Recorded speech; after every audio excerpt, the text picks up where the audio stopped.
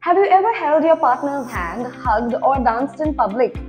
If you said yes to any of these and you're not in jail, count yourself lucky because all of this is banned in Iran.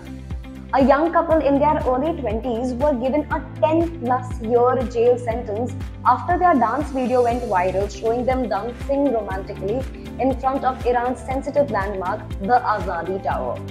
The video even showed the lady not wearing a hijab in defiance of Iran's strict rules. Iran has been facing many anti-hijab protests and has arrested many activists.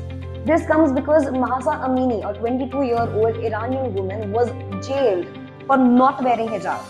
As reported, her leaked medical scans showed that she was severely beaten and also died as a result of police brutality, which was denied by Iranian authorities. At least 14,000 people have been jailed for protesting against the Iranian government. Reportedly, the couple's video had been hailed as a symbol of the freedom demanded by the protest movement. They were booked for encouraging corruption and public prostitution, as well as gathering with the intention of disrupting national security. They've also been banned from using the internet and flying outside of Iran for two years. What are your views on this? Let us know. And for more updates, stay tuned to Knowello.